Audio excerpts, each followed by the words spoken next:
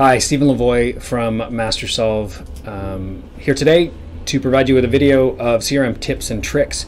Uh, I've got a special guest today. Um, this handsome young fellow uh, is uh, my offspring. He's joining us for uh, Take Your Kid to Work Day.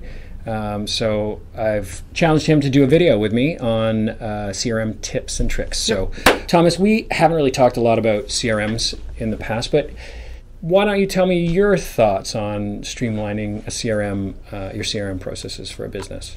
Technology should be an enabler for a business, not a hindrance. If your CRM app adoption is not where it should be, then there's a good chance your organization is not leveraging the advanced workflows and automation built within your CRM. Growing your business depends upon gaining new leads, closing and closing deals.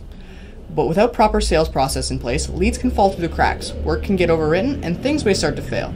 Don't wait until your sales process is broken down to find to reach for a CRM solution. You know what? That yeah, that was a very good point. Absolutely, I couldn't have said it better myself.